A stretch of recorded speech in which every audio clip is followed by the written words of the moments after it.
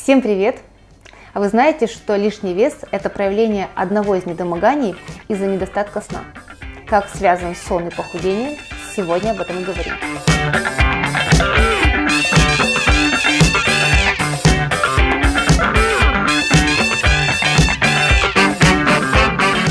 Когда люди мало спят, уровень сахара в крови повышается, равно как и активность симпатической нервной системы.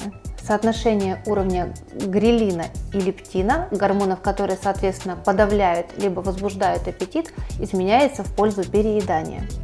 Сон поддерживает э, стабильный уровень кортизола, а недостаток сна увеличивает выработку кортизола. Это гормон стресса, который разрушает мышечную ткань. Одной из самых распространенных причин, по которым сон не идет, является переедание на ночь. Слишком тяжелая пища и перекусы увеличивают а, уровень инсулина, и вместо отдыха организм занимается перевариванием еды. Вот почему важно, а, чтобы ваш последний прием пищи был за 2-3 часа до сна. На ужин желательно кушать легкую белковую пищу, в ней содержится триптофан, важная для крепкого сна аминокислота.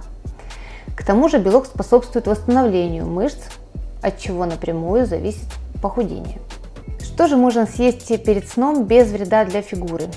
Не поправиться помогут следующие продукты. Отварная рыба или курица, морепродукты без специй, отварные яйца, тушеные, отварные или запеченные или свежие овощи, кроме картофеля. Нередко, кроме поздних перекусов, качественному сну мешает просмотр телевизора, интернета и общение а, в социальных сетях в вечернее время или ночью.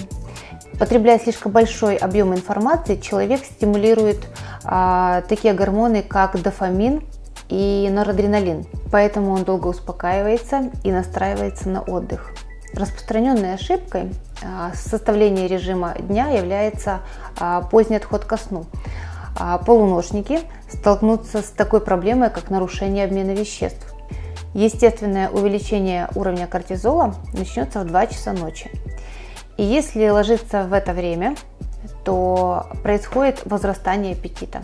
Для эффективного похудения а, оптимальным выходом будет э, начинать отдых в 10-11 часов вечера. Вот, все просто. Спите и худейте. С вами была Светлана Никитчук. Встретимся в следующем выпуске «Еда и я». Всем пока!